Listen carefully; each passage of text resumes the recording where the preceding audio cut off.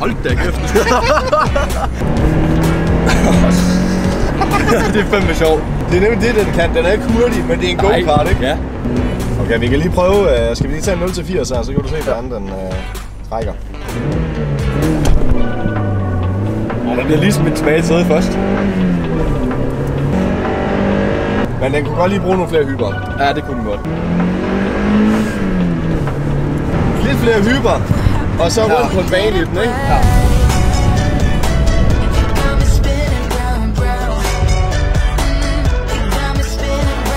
Velkommen tilbage til kanalen. Velkommen tilbage til BF Lifestyle. Vi har øh, selvfølgelig Magnus med. Han er jo i praktik den uge her. Vi skulle bare ud og hygge lidt. Vi øh, skal i gang med... Skal vi lige have nogle sving her? Ja.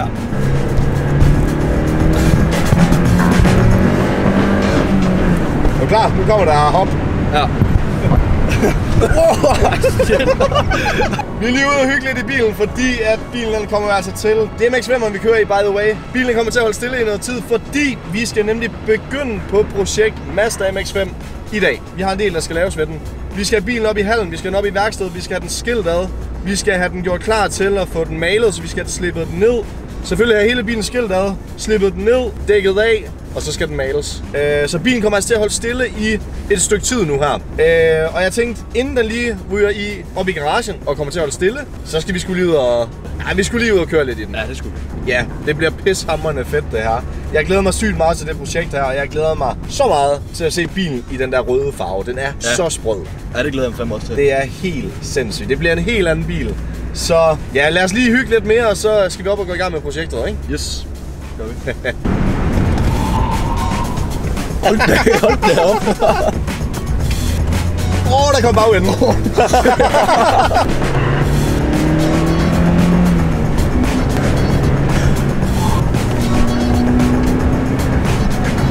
Det er lidt sjovt. Ja, det er fandme sjovt. Jeg synes, de veje, vi lige kørte på derhen, de var altså en lille smule sjove, så jeg tænker Ja. ja. lige... Uh... Lige have en tur med. Ej, den, den tager vi lige om igen. Kan vi nå forbi her? Åh, oh, det går lige, det går lige, det går lige. Ja, tak.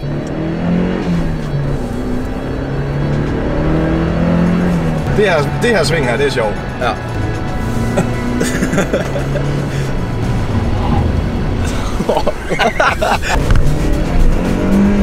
Åh, shit.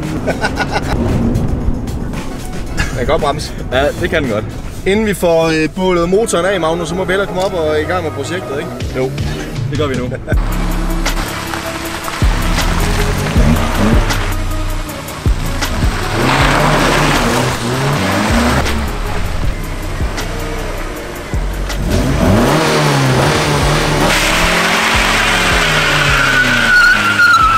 Var det ikke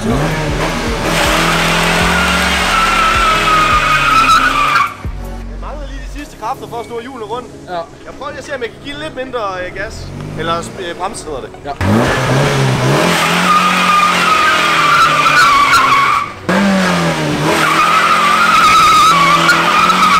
Nå. Okay, vi kan konstatere, at den, den mangler lige lidt power. Ja, det kunne vi godt Øh, bruge. Fordi når man, så snart jeg rører gas eller øh, bremsen bare en lille smule, så dør, så dør den. Ja. Så lidt flere hestekræfter mangler den.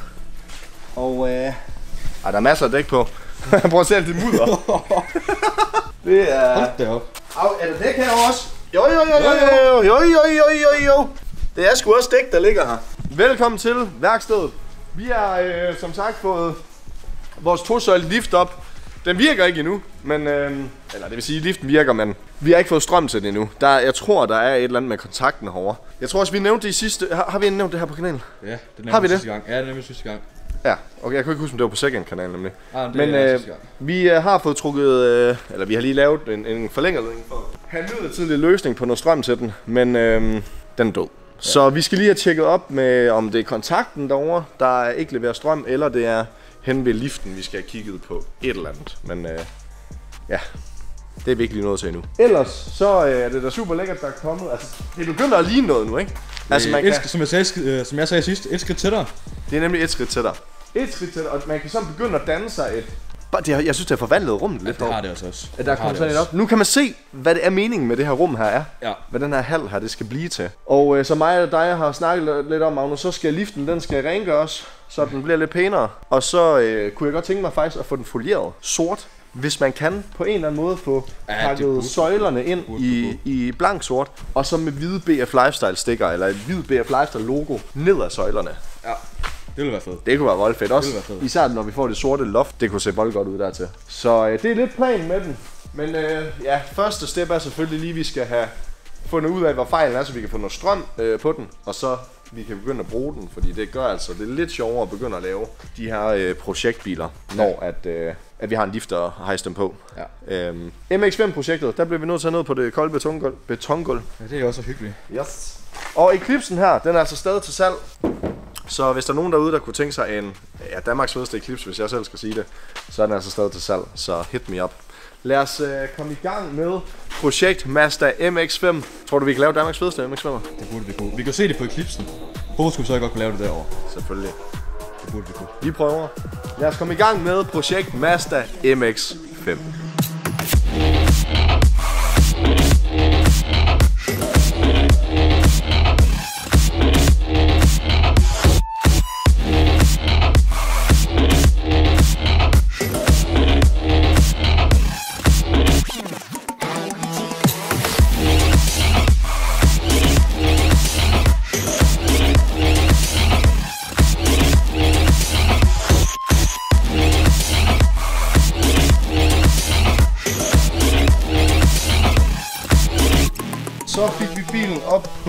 På bukke, det vil sige, så er det lidt nemmere at arbejde på nu. Nej, Ja.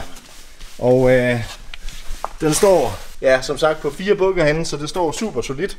Den ryger, den ryger ingen steder. der rører ikke nogen steder. Det er super. Så nu kan vi altså komme til at arbejde på MX-5'eren i en dejlig arbejdshøjde. Og øh, ja, så er det sådan set bare at på nu. Vi starter med at pille fælge af. Ja. Og øh, så kan vi lige få kigge på bagskærmene, de skal jo lige bankes lidt op. Ja. Og øh, ja, så skal vi bare skille bilen op. Ja. Så ja, lad os komme i gang.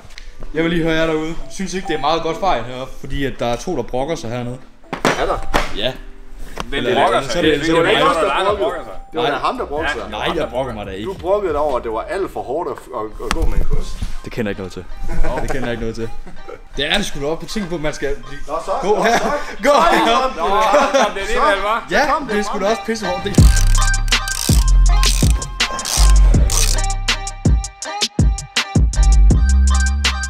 Så når de her fælde kommer af, ikke? så kommer de ikke på igen. Der skal nye på. Au, det, jeg vil dog sige, det kan godt være, at vi kommer bliver nødt til at tage dem på. Hvis vi skal have bilen transporteret sted hen lige at males, der skal den nok ikke lige køre med nye fælder.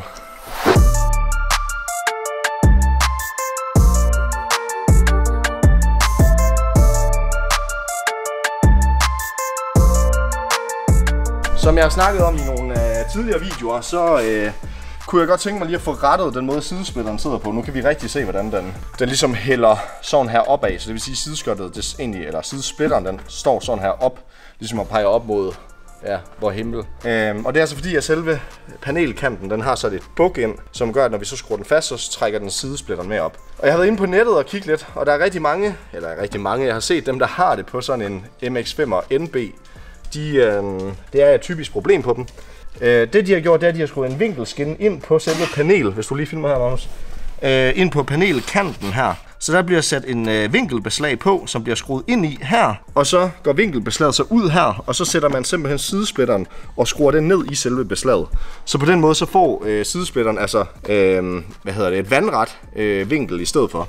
Og så vil det sige, at den, eller det vil så sige, at, øh, at sidesplitteren den følger jorden, ja, vandret i stedet for. Så det kommer til at se lidt pænere ud. Så vi skal lige have målt op, hvor langt det her stykke her er. Og så skal vi have skåret et øh, vinkelbeslag til.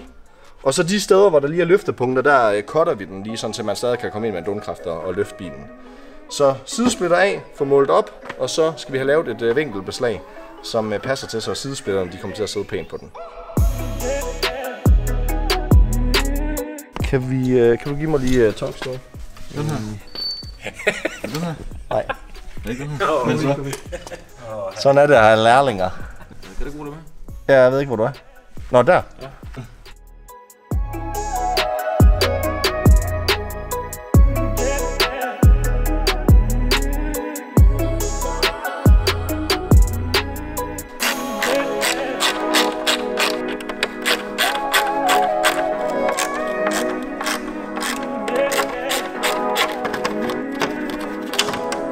Har vi en skrue, der selvfølgelig er knækket toppen på her.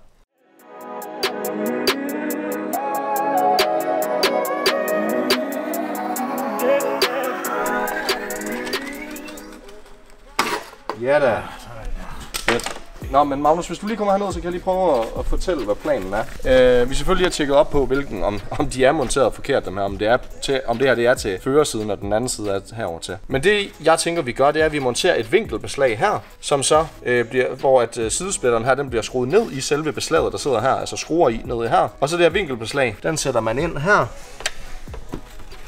Øhm, og så går den så, altså følger den kant, der er her, og så skruer man selve øh, beslaget i den kant her, og så sidder den jo sådan der. Så trækker den sig ikke op, men så kommer den til at sidde helt øh, vandret. Ja. Jeg tænker, det er det, vi kommer til at gå med. Så nu, der bliver det gjort rigtigt.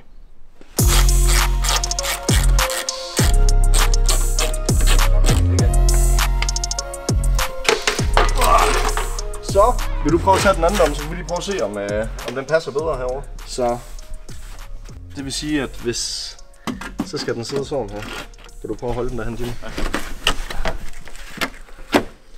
Det, øh, det ved jeg faktisk ikke helt. Tror jeg ikke, fordi Nej, fordi at den er, længere, Den er- er, den er jo længere ude her, og den er jo den har jo den er, længere bred, her. den er bredere heromme, Ja. end den er derhenne. Ja, og der er og den skal være bredere herhenne. Så det tror Så- jeg ikke helt rigtigt. Nej, det er, det er altså fail, dem der har skrevet det i videoerne, at øh, vi har byttet rundt på dem. Det er altså rigtigt nok. Det er, Det er sådan, at de skal sætte. ja, det skal, det er det.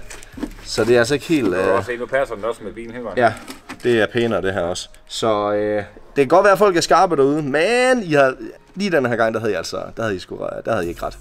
Hvad var det, du kaldte det, Magnus? Hvad kaldte den der? Ja, den her. Jeg kalder det for load. Det er lågt. Det er lågt. Det er, det er jo også et load. det er det da. Ja, det er load ned til hjertet. Nå, ja. jamen øh, nu fik vi jo ligesom lidt klarhed over det med de sideskørte der, så vi går med det beslag der, det ved jeg ikke, om jeg fik sagt, ellers så klipper du lige ud, så jeg ikke siger det en milliard gange, ikke? Ja. Men de er røgnet af nu. Vi maler ikke motorrum, det kan jeg lige så godt lige starte med at sige, fordi at jeg har lidt plan om, at på et tidspunkt, der skal vi have lavet et eller andet ved den her. Øh, om det er en anden motor, vi smider i, eller det måske er noget turbo, kompressor eller et eller andet, vi smider på den her. Så der skal motoren ud, øh, når vi går, går i gang med det projekt. Øhm, så jeg vil simpelthen ikke hive motoren ud nu for at lægge den i igen, så, og for så at hive den ud senere. Så det, jeg har øh, valgt at gøre, det er, at øh, vi ikke maler, motorrummet motorrum den her gang, men når vi så går i gang med motorprojektet, så får vi malet motoren sort øh, til, til det tidspunkt. Øh, men ellers så øh, laver vi sådan en det skal også give mening, det her projekt, så det bliver ikke 100% øh, hvor vi skiller alt ad, øh, ligesom vi gør ved Supran. men, men vi kommer til at skille det, som vi lige kan komme i, i ja, som vi lige kan komme, komme til, øh, for at vi får den pæneste lakering øh, som muligt. Så, og jeg kan se, at Jimmy han er, han er allerede i gang, så jeg, må- jeg må også hellere lade være med at snakke, og så, øh, så komme i gang med arbejdet i stedet for.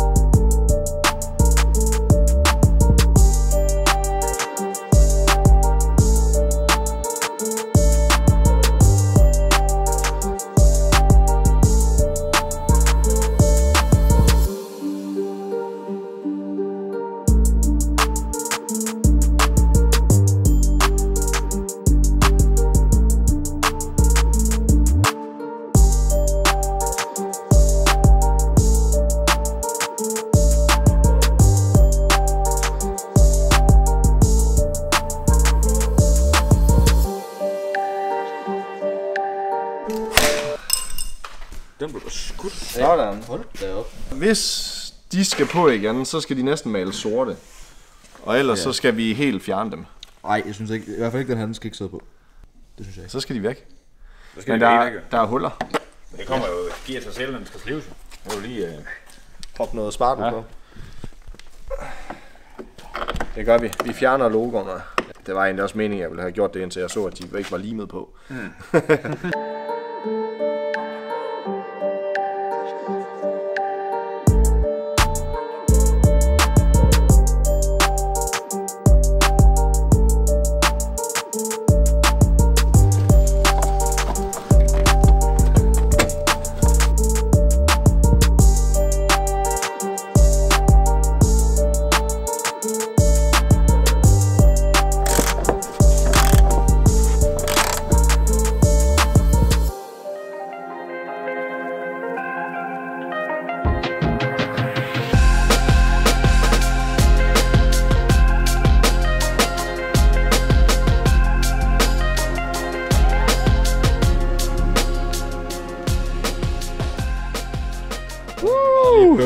helvede. det var da ikke ret besværligt, den der god på. overhovedet ikke. Men det er nemmere at sætte underlæben på nu. Så kan du sætte den ordentligt på. Ja, præcis. Den ikke falder af igen. Jeg vil sige, uanset hvordan den var monteret, så var den faldet af af den isklump. Den her, uanset hvad, så, ville, så var den smadret.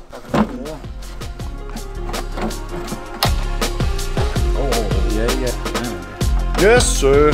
Woo!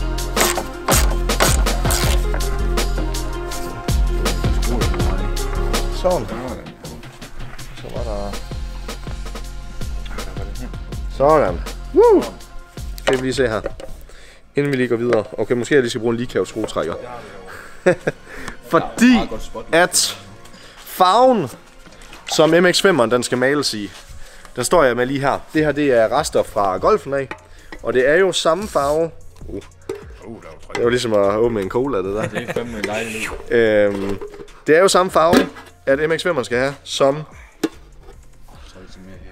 Hold da op. Prøv lige at tjekke det der.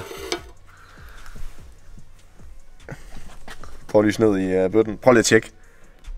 Det er opfanget. Er det lækker, eller er det bare lækker? Det er lækkerier, det der. Det er svært at opfange den der effekt her på. Er det det? Helt vildt. Men prøv lige at overveje den farve. Ja. På den bil der. Åh, det dufter godt nu. Kæft, den er fed. Det er helt sindssygt. Kan du få den der?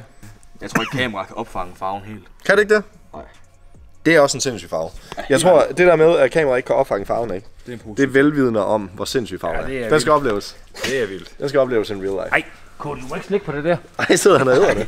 Så er du, fandme, så er du tynd mave. Cody, for fanden, det er altså ikke en kvindehund. Det skal ikke. Det er ikke en uh, hund. Det er ikke en hund, vi har fanden med. Du skal ikke spise det. Du bliver sgu da syg af det der. Ja, han skulle have tynd mave i morgen. Det bliver lækkert. Det er røde pøller, der kommer ud. Hinanden eller højst en sig selv. Sådan nogen som os har jo brug for en kæreste. Og den kæreste, jeg tænkte skulle være dig. Brian, han er ved at være overtræt. Nej, nej. Fuld fart. Bop, bop, bop. Vi er ikke, altså... Vi har gået op hele dagen. Ja. Og det er en pissegod dag, Magnus. Det er en pissegod dag i dag. Ved du hvorfor? Du ved godt hvorfor. Jeg ved godt, hvorfor. Og det finder de også ud af. Det finder de ud af snart. det er blevet en fucking god dag i dag.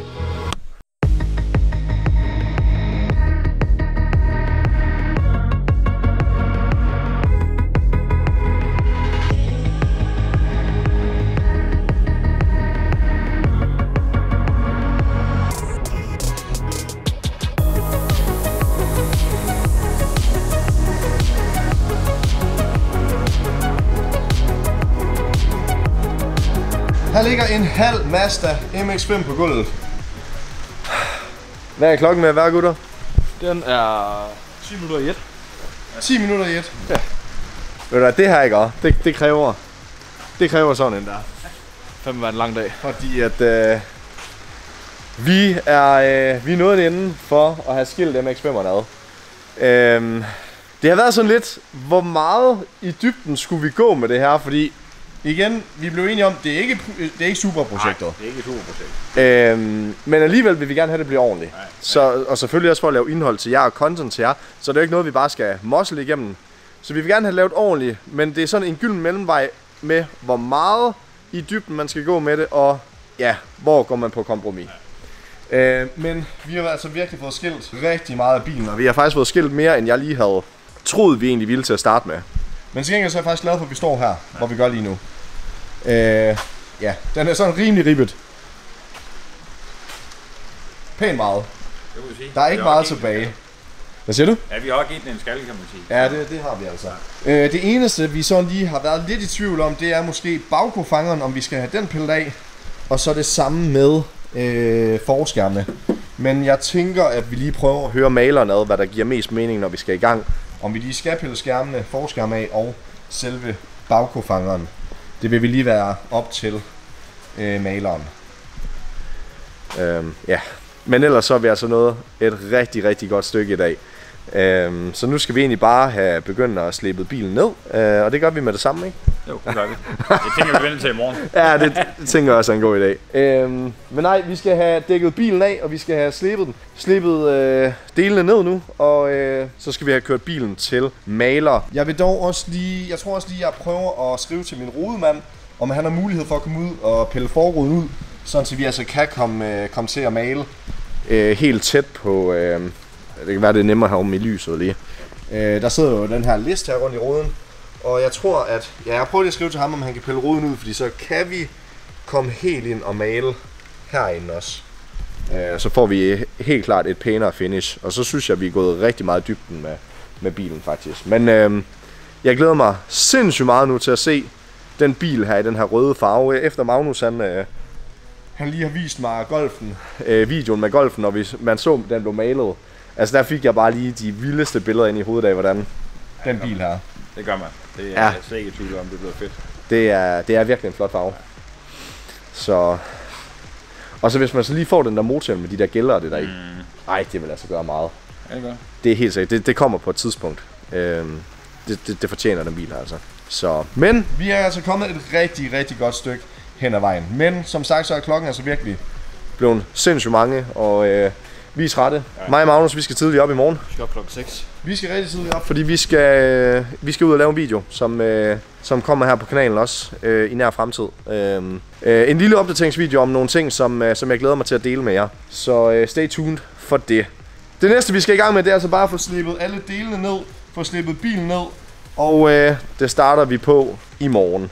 Så glæder jeg til næste video, hvor vi rykker på MX-5'eren endnu en gang. Tusind tak, fordi I så med i uh, dagens video. Tusind tak til Jimmy. Mm, jo. Tusind tak til Magnus. For hvad? Øh, for hvad? Ja, for hvad? Det ved jeg ikke. Hvad har du lavet? Hvad har du egentlig lavet det? Jeg har været moralstøtte. Ah. Ah. Er du helt sikker på det? Hvad? Ja. Ja. Altså, der. Vi siger også tak til Magnus. Ja, så tusind tak til jer, fordi I har set med. Og øhm, gå ind og støt kanalen ved køb af merchandise. Det gør, så vi kan blive ved med at lave nogle projekter på kanalen. Og blive ved med at opgradere vores content også. Så øh, ja, støt kanalen. Det vil jeg sætte pris på. Tusind tak, fordi I så med. Og så er der ikke andet at sige end...